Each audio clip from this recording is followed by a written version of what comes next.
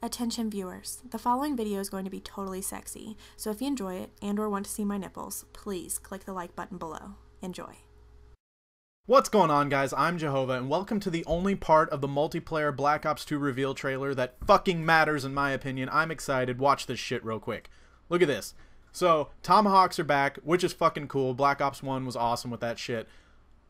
But more importantly, that looked like a quick scope to me and uh, yeah, okay, so a couple things about this. Let's watch it one more time. So here, first of all, this first kill with a scoped, it looks like it says DSR 50 customized.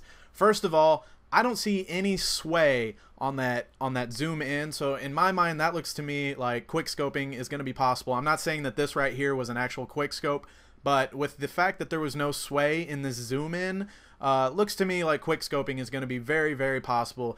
And uh, also, at this next clip, he has a second sniper rifle, the Ballistica customized, and it doesn't have a scope, which is pretty sweet. Uh, kind of going back to the World at War, you can take scopes off your sniper rifles. I think that'll be really cool just to change up a little bit of pace.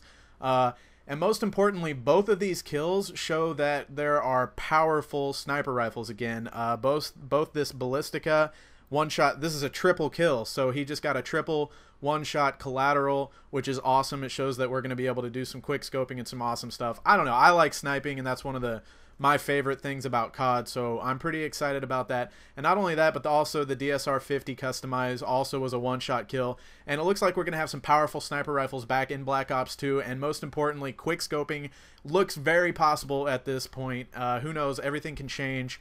Scopes are very customizable. You can take them off. Um, and to me, that's all that matters about this whole trailer is the fact that there was a Tomahawk and it looks like quick scoping is going to be awesome. Also, obviously, there might be some sort of an overkill perk unless he just picked up two snipers. But I'm excited because sniping's my favorite part of COD and that's what I think. So leave a comment and a rating if you think quick scoping is awesome. Uh, discuss below the possibilities of quick scoping in Black Ops 2. I'm excited.